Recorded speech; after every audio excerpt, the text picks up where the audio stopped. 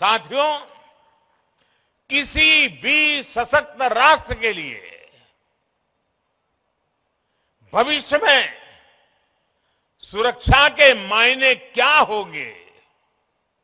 Space technology इसका एक बहुत बड़ा उदाहरण है। मुझे बताया गया है कि तीनों सेनाओं द्वारा इस क्षेत्र में विभिन्न चुनौतियों की समीक्षा की गई है, पहचान की गई है। हमें इनके समाधान के लिए तेज़ी से काम करना होगा। मिशन डिफेंस स्पेस, देश के प्राइवेट सेक्टर को भी अपने सामर्थ्य दिखाने का अवसर देगा।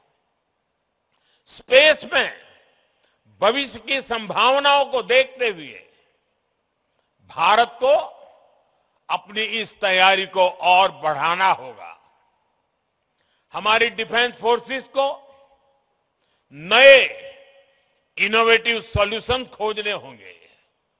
स्पेस में भारत की शक्ति सीमित न रहे और इसका लाभ भी केवल भारत के लोगों तक ही सीमित न हो, ये हमारा मिशन भी है, हमारा विजन भी है। स्पेस टेक्नोलॉजी, भारत की उदार सोच वाली स्पेस डिप्लोमेसी की नई परिभाषा को गढ़ रही है, नई संभावनाओं को जन्म दे रही है। इसका लाभ कई अफ्रीकन देशों को, कई अन्य छोटे देशों को हो रहा है। ऐसे 60 से ज़्यादा विकासशील देश हैं जिनके साथ भारत अपनी स्पेस साइंस को साझा कर रहा है। साउथ एशिया सैटेलाइट इसका एक प्रभावी उदाहरण है। अगले साल तक आसियान के 10 देशों को भी भारत के सैटेलाइट डेटा तक रियल टाइम एक्सेस मिलेगा। यहाँ तक कि यूरोप और अमेरिका जैसे विकसित देश भी हमारे सैटेलाइट डेटा का उपयोग कर रहे हैं। इस सब के साथ ही एक ऐसा क्षेत्र है जिसमें समुद्री व्यापार से जुड़ी अपार संभावनाएँ हैं। इसके ज़रिए हमारे मछुआरों के लिए बेहतर आय और बेहतर सुरक्षा के लिए रियल टाइम सूचनाएँ मिल रही हैं।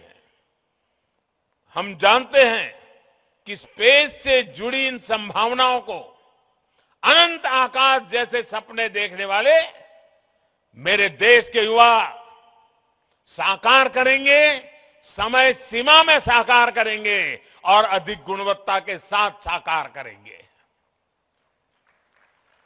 भविष्य को घड़ने वाले युवा स्पेस टेक्नोलॉजी को नई ऊंचाई तक ले जाएँगे।